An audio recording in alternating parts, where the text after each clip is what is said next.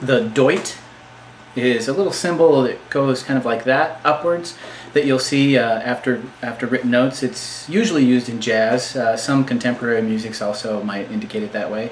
Um, it really doesn't matter how it's written down uh, because it's a neat technique and it uh, it can be can be useful.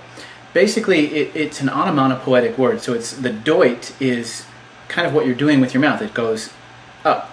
Um, so I'm just going to give you an example. This also uses the half valve technique. You can either use one, two, three, whatever, whatever works best, whatever sounds good. Um, and usually you do this going up until, uh, well, until it sounds good. If you do it as a section, of course, you want to all stop together, so you need to kind of listen for that. But otherwise, it's just to taste how far up you go. It's also uh, limited by a range, of course. So uh, I'm just going to do something, I don't know, on a G or a B flat, something like that. And I'll do the doit and you'll hear and see what my fingers are doing to, to, to do it for yourself. So.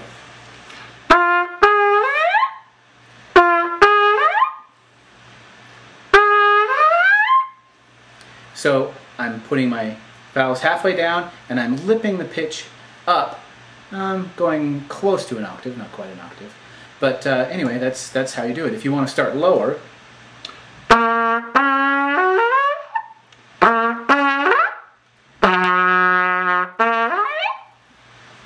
Okay, there you go. Good luck. Have fun.